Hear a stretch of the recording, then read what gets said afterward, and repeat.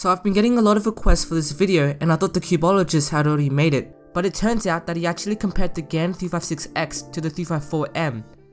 Hey guys, it's the Cube Syndrome here. Today I'll be making a comparison between the GAN 356X and the Weilong GTS 3M. Both of these cubes are top of the line puzzles currently in the 3x3 market. Let's begin with by far the most striking difference between these two puzzles, and that is the feeling and sound. The GTS 3M is smooth but at the same time is loud and crunchy. This could be because of the large surface area of contact between the pieces. You can see here on the edge piece that there are several indented sections, which could possibly explain why the cube feels crunchy. Upon popping out an edge piece from the GAN 256X however, we discover something else, and it's the honeycomb design on the pieces. This pattern has been on GAN puzzles since the SM, and is there to evenly distribute lube, but you guys probably already knew that. The fact that this doesn't really have as many indents as the GTS 3M piece, which combined with the large amounts of lube in this puzzle, makes up for the cube's feeling. The 356X's feeling is extremely smooth. It also has to be one of the quietest cubes I've ever played with, rivaling the original Air. Now let's talk about the physical structure of these two puzzles. The GTS 3M has its iconic ridges on the pieces. With my first glance, I thought these ridges would be mildly annoying and interfere with my solves, but when I actually got my hands on the cube, the ridges only improved grip and were pretty much unnoticeable.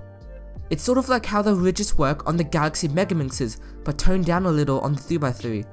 The 356X is the same size and has no striking external features. One difference between the two cubes I can notice however are the corner pieces, with the GTS 3M being rounded off and the 356X being left sharp. Now are both of these cubes stable? Yes, both cubes corner cut 45 degrees and have good reverse corner cutting? Yes, it's 2018. Do both cubes pop? If you put them on super loose tensions, then yes.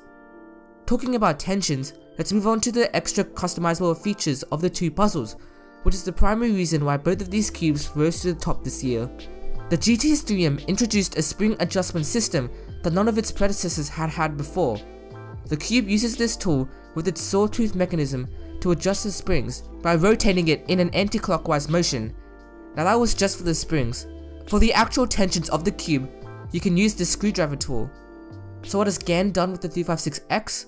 Well they took it one step further. You can obviously still change the tensions with the adjustable GES nuts, but you can also change the magnet strength to your liking. You likely wouldn't be complaining if the magnets on this cube are too weak or too strong, because you've got 4 settings to choose from. No magnets, weak, medium, and strong. Any other differences between these puzzles? Well, as always, there's price to consider. We'll again use speedcube.com.au as an example. The GTS 3M costs 49 Australian dollars, while the 356X starts at a hefty 79 Australian dollars.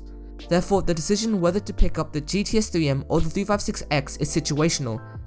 Both are advanced and versatile speed cubes, which will probably not be appropriate for the beginner speed cuber. Both cubes are also 3x3s with rich histories.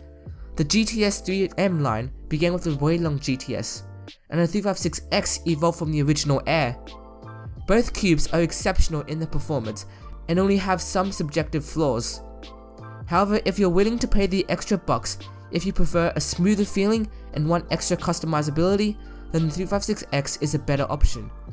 If you guys have enjoyed, make sure to, well, you know the drill, See you all in the next video.